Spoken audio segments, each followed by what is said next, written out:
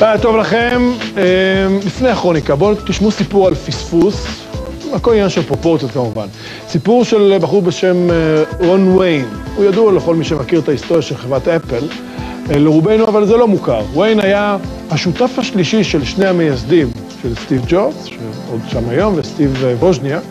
הוא מבוגר מהם, ויין קיבל ב-1976 עשרה אחוזים מהחברה הצעירה, כדי שיהיה מין סוג של מבוגר אחראי ולשון מאזניים. אבל זמן קצר לאחר מכן הוא עזב את החברה, הוא מכר את המניות שלו בקצת יותר מ-2,000 דולר. כן, עשרה אחוז של היום של אפל זה 22 מיליארד דולר. לא שומעים עליו הרבה מאז, העיתון מרקיורי ניוז איתר אותו במדינת נבדה בארצות הברית, ופרסם פרופיל גדול שלו, והתברר שמי שיכול היה להיות אולי איש מספר 15 בעולם בעושר, חי מפנסיה ממשלתית, וכדי להשלים הכנסה הוא מוכר מדי פעם מקצת מאוסף הבולים והמטבעות שלו. כן, אה, יש לו מחשב אישי, הוא רכש רק לאחרונה דל. דווקא דל. טוב, עכשיו, היום בדקה. פרשות המשט עדיין איתנו. גובר הלחץ האמריקני על ישראל לחקירה בינלאומית. מפקדי דבור במילואים מצטרפים לדרישה לחקור. הטורקים מפרסמים תמונות לא ממש נעימות, והפיקסיס מבטלים את ההופעה בישראל. אבל יש בעולם גם סיפורים אחרים. למשל, שחקן פורנו שחשוד ברצח נפל אל מותו כשהמשטרה מאחוריו. ואיך ראש ממשלה שנופל נוקם ביורשו? גורדון בראון עכשיו מתברר קיצץ בשכר של ראש ממשלת אנגליה ימים לפני שעזב את דאוני נסר. ומתופף של להקת חתונות שורף את יוטיוב.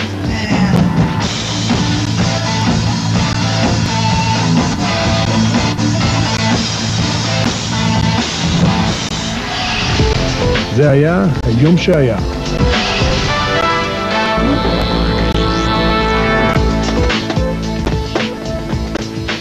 נשארנו בחד מימד. ככה זה אצלנו בחדשות. טוב, איפה הימים של פרשיות נדל"ן? כי המשט זה לא עוצר. יש לחץ גדול על ישראל לחקור את האירועים, לחץ שגובר, הבית הלבן עושה על זה ממש שעות נוספות, כנראה הביא את ראש הממשלה לבדיקה ישראלית, אולי עם משקיפים בינלאומיים, למרות שישראל דחתה את ההצעה של מזכ"ל האו"ם לוועידת בדיקה שכולה בינלאומית, אבל בהשתתפות ישראלית. הלחץ לחקור גובר גם בפנים. אורלר שלנו סיפר היום על מכתב ששיגרו עשרה קצינים במילואים, כולם מפקדי ספינות דבור בדרגות סרן ורב סרן. הם כותבים, המבצע הסתיים באסון ברמה הצבאית והמדינית, אנחנו לא מסכימים עם הטענות הרופחות שמדובר בפער מודיעיני, אנחנו רואים בכך זילות בערך האחריות, אשר צריך להיות מוטל על הדרגים הפוקדים ומאשרי המבצע, כך כותבים הקצינים. רצף האירועים אשר החל עם ההחלטה לעצור את המשט ונמשך עד היום, מערער את האמון שלנו בפיקוד החיל ומקבלי ההחלטות בממשלה. לדעתנו לא ניתן אלא לזמן ועדת חקירה חיצונית ובלתי תלויה שתיתן על כך דין וחשבון מפורט. כן, היום פורסמו תמונות חדשות מתוך המרמרה, הם פורסמו בטורקיה, בעיתון טורקי, אולי הנפוץ ביותר, הוריית. שלושה חיילי צה"ל, בהם גם סרן רייש, הראשון שנחת על ציפון המרמרה, מוצגים שם חבולים מדממים, אבל מקבלים סיוע מכמה ממשתתפי המשט. מסתבר שבמשך כחצי שעה הם הוחזקו בבטן הספינה כחטופים. נשקם נלקח מהם. בדובר צה"ל אמרו, זו הוכחה, הוכחה ברורה, לטענה של ציפון המרמרה היו שכירי חרב. כן, תמונות לא פשוטות לעין ישראלית, אבל הן בהחלט משרתות את ההסברה הישראלית. אז באמצעת, באמצעת, בעזרת ממצאי התחקיר הראשוני של שייטת 13, אלון בן דוד שרטט את ההשתלשלות של האירועים על סיפון המרמרה, כפי שרואים אותה עכשיו בצה"ל. המבצע החל באור ראשון, ארבע וחצי לפנות בוקר, צוות של 15 לוחמים החל להשתלשל לסיפון, ושלושה הוכו ונחטפו מיד לסיפון התחתון. שניים הושלכו ואחד נגרר לשם. וכעבור דקה, שאר הלוחמים הבינו מה קורה ופתחו באש חיה. כן, אז זה לקח חמש דקות, ואז צוות ממסוק שני השתלשל והתחיל לטפל בפצועים. בשלב הזה כבר ברור שיש שלושה לוחמים חסרים, שנחטפו. כן. אנחנו עכשיו חצי שעה מתחילת המבצע, חמש בבוקר, וחיילי צה"ל משתלטים על גשר הפיקוד. ובלחץ החיילים, הקפטן מודיע שהספינה בשליטת צה"ל, וההכרזה הזאת מלחיצה את החוטפים. אז בחסות הבלבול על הספינה, הם נמלטים אה, לחרטום כשהם פצועים, וסרן רייש סולף את הסכין שהייתה נעוצה בבטנו וקפץ למים, והחייל השני שנחטף קפץ אחריו, וחייל שלישי נמצא על ידי חבריו שרוע על הסיפון. כלומר, בדיעבד צה"ל טוען שזו הייתה תוכנית לחטוף את החיילים ולדרוש מחיל הים לפנות את הכוחות מהספינה ולאפשר לה להפליג לעזה. זאת אומרת, מבחינת צה"ל זה סוג של פיגוע מיקוח שנמנע. כן, אבל כל אלה כמובן אה, הסברים שבדיעבד, אה, וחוץ מאיתנו, לא בטוח עד כמה בכלל בעולם מקשיבים לגרסה הישראלית. אז בלשכת העיתונות הממשלתית היה מישהו שכל כך התלהב דווקא מגישה אחרת, סרטון פרודי על הצביעות של העולם לכאורה כלפי ישראל, והוא אפילו שלח את זה לכתבים זרים כסרטון רשמי. הנה קטע.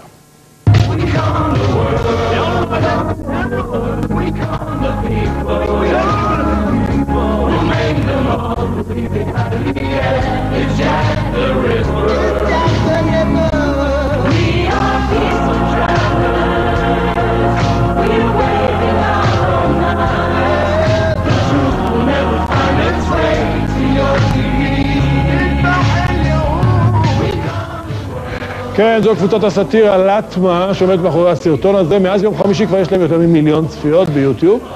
אה, אז אולי בגלל הביקורת על חוסר ההסברה הישראלי, הסרטון הועבר לתקשורת הזרה על ידי הגוף הישראלי, הממשלתי, הרשמי, בלי הסברים.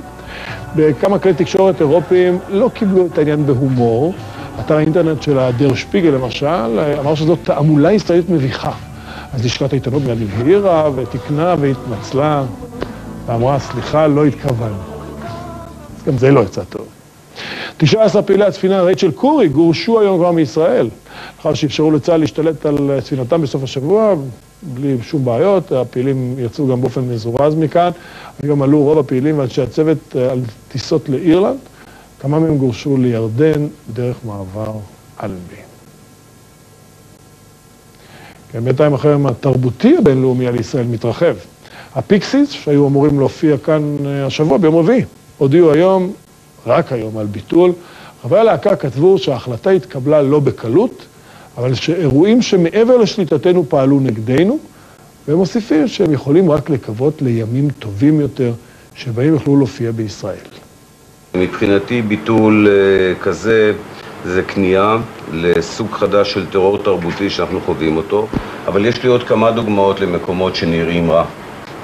ולא נקטו שם עדיין בצעדים הללו שנוקטים על, כנגד ישראל. כן, וביום שישי גם ביטלו הגורילה סאונד סיסטם ולהקת הקלקסונס, הופעה צפויה, ובחודש שעבר אלוויס קוסטלו ברגע האחרון. ארגונים פרו-פלסטינים אה, ממשיכים להפעיל לחץ גם על אלטון ג'ון ועל רוד סטיוארט, שיבטלו גם הם, אבל נכון עכשיו ההופעות שלהם כמתוכנן. אולי צריך להגיד נכון לעכשיו. בכל מקרה, כדאי להקשיב טוב טוב לטון המכתב של הפיקסיס. זה נשמע כאילו אין להם ברירה. האם אמן במדינות המערב חייב להחרים את ישראל כדי להישאר פופולרי? שנחשוב ונבין.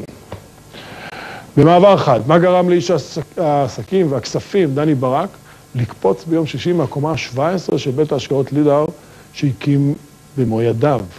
כן, גם אחרי שהובא היום למנוחות, יש בסיפור הזה המון סימני שאלה, הרבה יותר מאשר תשובות. עד לפני שנה ברק נחשב למטאור בשוק, ה... בשוק ההשקעות. חברת לידר שהקים התברגה בין חמשת בתי ההשקעות המובילים, הוא הנפיק בהצלחה את עזריאלי. ובשנה שעברה החלו הקשיים, חברת האם, לידר החזקות, נקלעה לקשיים בהחזרת אגרות חוב, במקביל ברק עצמו נכשל בהשתלטות על החברה. בלידר סיפרו שהוא החל להיעדר מהמשרד, לא הגיע לפגישות שנקבעו, ביום שישי גם אשתו לא השיגה אותו בנייד, עד שנודע לה על התאבדותו. פשוט לא השאיר שום דבר, בדקנו, חיפשנו, שום אה, רמז, שום דבר. זה שבר ענק, ולא תיארנו לעצמנו שזה יגיע למצב הזה, ובפרט ביום שישי היה לו מצב רוח מצוין, אני עמומה. כן, בלילה כלכלי, אה, ראיון עם האימא, עם האישה, סליחה. הם ילדיו.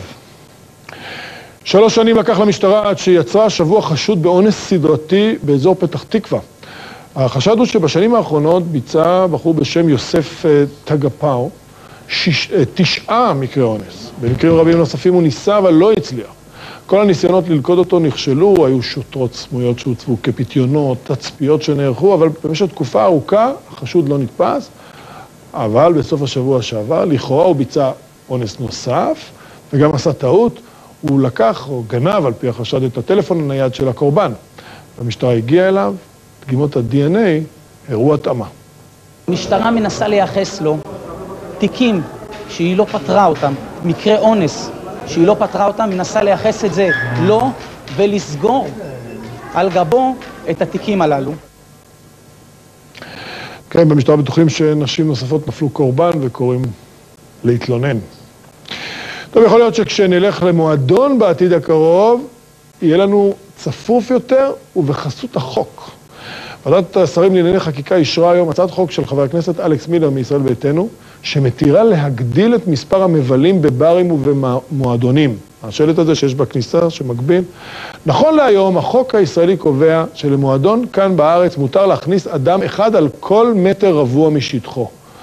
על פי הצעת החוק, שתעלה כבר בכנסת ביום רביעי, יוקצה לכל בליין 0.7 מטר רבוע. כלומר, בעלי המועדונים יוכלו לדחוס קצת יותר בליינים. אל תקפצו בהתנגדות. התקן הישראלי מחמיר ביותר ביותר. במועדונים, ברוב המועדונים באירופה מותר להכניס שני בני אדם על כל מטר רבוע, זאת אומרת 0.5. למרות שהשינוי המוצע בישראל רחוק מהמצב ברחובות הריקודים של אירופה, המשטרה ממליצה שלא לשנות את המצב הקיים. בנימוק שאינו מבטיח את שלום הציבור, למרות שבהרבה מקרים לא מכובד החוק, כן. על פי הצעת החוק, בעל מועדון שיפר את הנהלים החדשים ייענש בחומרה, כלומר, בפעם השלישית שייתפס, יאבד את רישיון העסק שלו. זאת אומרת, יש פה מקל וגזר. טוב, הניסיון האחרון לעצור את דליפת הנפט במפרץ מקסיקו לא נכשל. לאחר חודש וחצי של כישלונות, אז סוג של כותרת, למרות שזה עדיין לא הצליח, שנהיה ברורים. לאחר שרובוטים הצליחו להרכיב את המכסה החדש על צינור הנפט, שנוסר, נשאבה ביממה האחרונה כמות נפט שמוערכת בכעשרת אלפים חביות. ובהתחשב בכך שבכל יום נשפכת לים כמות של 15 אלף חביות, זה ממש לא עניין של מה בכך, שני שלישים של הצלחה. מה לגבי השליש הנוסף? חברת BP אומרת שהשסתומים של המכסה החדש יסגרו בהדלפה גם את מקור הדליפה, ואז כבר ניתן יהיה לדבר על הצלחה מלאה. את הנשיא אובמה זה ממש לא מספק. This is the largest response to an environmental disaster of its kind in the history of the country. We've also ordered BP to pay economic injury claims, and we will make sure they pay every single dime owed to the people along the Gulf Coast. כן, ובואו נוסיף על התמונה השחורה הזו. ביום ה-48 לדליפת הנפט מצטרפת פלורידה ללואיזיאנה, למיסיסיפי, לאלבמה. כן, כתם הנפט הענקי הגיע גם אליה, טרקטורים פשטו על חופי היפים כדי לנקות אותם, לנסות לפחות לנטרל את כדורי הזפת. עכשיו מחוששים שענף התיירות החשוב כל כך עומד להיפגע משמעותית. בינתיים ממשיכות להציף את התקשורת התמונות של הגוזלים והעופות אה, שתקועים עמוק בתוך ביצות של נפט, כמו בימי מלחמת המפרץ. זוכרים את התמונות האלה? יאללה. כן, המון אמריקנים חושבים שהם עלו על רעיון איך לנקות את החופים מפגעי הנפט, והם מהר מהר רושמים פטנטים. הנה אחד לדוגמה. שני מדענים הברית המציאו מעין תמיסה, שהם טוענים היא מקפיאה את גופי, גושי הנפט שמגיעים לחופ, לחופים, ובכך מפחיתה את הזיהום, והם התראיינו ב-CNN ועשו הדגמה בשידור חי. במהלכה פיזרו את החומר שפיתחו על שלושה גושי נפט שנלקחו הישר מהחופים שנפגעו באסון, ואכן בתוך זמן קצר הגושים התקשו הפכו למוצקים, ואז אפשר פשוט לאסוף אותם מהחול ולפחות זיהום בחופים. Now I'm just going to sprinkle some of these dry ice pellets over all three. First, what y'all picked up yesterday. And again, this is your product you're showing. This is it, right? Yeah, this is our product. This is our product. שילכו לכרישים. טוב, הם טוענים שהם במשא ומתן מתקדם כבר עם BP, בטח מוצפים ברעיונות. יצטרכו את הכל. מה עוד קורה בכפר הגלובלי? האפיפיור בקפריסין, ושם הוא אומר שהאסלאם הקיצוני מאיים על העולם כולו. בנדיקטוס ה-16 גם קרא לפתרון מהיר של המתיחות במזרח התיכון בכלל, ושל הסכסוך הישראלי-פלסטיני בפרט, כדי למנוע שפיכות דמים גדולה עוד יותר. באפגניסטן הורה הנשיא חמיד קרזאי לשחרר את אנשי הטליבן שעצורים ללא ראיות מספיקות להגשת כתבי אישום נגדם. בשבוע שעבר התקיימה באפגניסטן ועידת שלום שנועדה לפייס בין השבטים השונים במדינה לאנשי הטליבן. הייתה אחת ההמלצות. אז הנשיא האפגני ביקש ממשרד המשפטים לאתר עצורי טליבן שעומדים בקריטריונים ולשחררם. בבריטניה קיצץ ראש הממשלה לשעבר גולדון בראון את שכרו של ראש הממשלה החדש דויד קמרון, כן? העיתון אה, טלגרף אה, ידע לספר שזו החלטה שהתקבלה בימים האחרונים של בראון בדאונינג 10, פשוט, אה, זה לא, זה לא היה אישי, אבל זה פשוט, הם אפילו לא הוציאו על זה הודעה לציבור, וצמצמו את המשכורת של ראש הממשלה. אז משכורתו של קמרון תהיה 150 אלף לירות סטרלינג בשנה במקום 195 אלף. זה מה שקיבל בראון. יפה, הוא חסך. עוד עניין מהכפר הגלובלי, אגם טבעי שנוצר על ידי מפולת סלעים ענקית בצפון פקיסטן, מאיים עכשיו לעלות על גדותיו ולהציף כפרים שבהם מתגוררים 50 אלף בני אדם. תראו את הדבר הזה, זה כבר לפני כחצי שנה נחתו סלעים על אה, נהר בשם אה, הונזה בפקיסטן וחסמו את הזרימה שלו, ובחודשים האחרונים הוא עלה על גדותיו ויצר את האגם הטבעי הזה באורך של יותר מ-20 קילומטרים, כמו הכנרת. והביא למותם של 20 בני אדם, להרס גדול של בתים באזור. חצי מכפר, למשל, בשם עטאבד, אה, אה, פשוט נהרס. בכל רגע ייתכן שגם האגם הזה יעלה על גדותיו, כלומר, ההצפה תגדל, אז בינתיים פונו בבתיהם 6,000 מתושבי האזור מחשש לשיטפונות. This wave could be as high as 48 meters. The second worst scenario could be that it doesn't break. And if it doesn't break, that means all the villages stuck up upside, upstream of the lake remain either marooned or submerged. כן, אז התושבים בפקיסטן אומרים, רגע, שואלים את הממשלה, למה אתם לא מפנים את כולם? סכנת חיים. ביום חמישי סיפרנו על מצות בארצות הברית אחרי שחקן פורנו שחשוד ברצח. הסיפור הזה הסתיים היום לעיני המצלמות במוות. כן, מוות אה, בנפילה ממצוק בלוס אנג'לס, גובה של 12 מטרים. אה, כן, לא תמונות קלות. לפני שהוא נפל ומת, סטיבן היל נורה מנשק לפיזור הפגנות. המשטרה שם אומרת זה נשק לא קטלני. והמשטרה טוענת שהשחקן פשוט קפץ. הוא טיפס על הגבעה הזאת ונופף בחרב סמוראי, שאיתה התפרץ גם לאולפנים שפיטרו אותו, ואז דקר את הקולגות שלו לעבודה, אחד מהם למוות. זה לקח יומיים של אה, חיפושים, אז איתרו אותו, את שחקן הפורנו, הוא ניסה לברוח לעבר הגבעה. כשהם סגרו עליו, הוא התקדם בישיבה לקפיצה ובחר שלא לעז... אה, בישיבה לשפת המצוק, ובחר שלא להסגיר את עצמו, או שאולי לא נתנו לו הזדמנות. חוקרים. טוב, אווירה אחרת. אגב, רכישות לא שגרתיות של צה"ל, עיין ערך אקדחי פיינטבול, הנה עוד סיפור.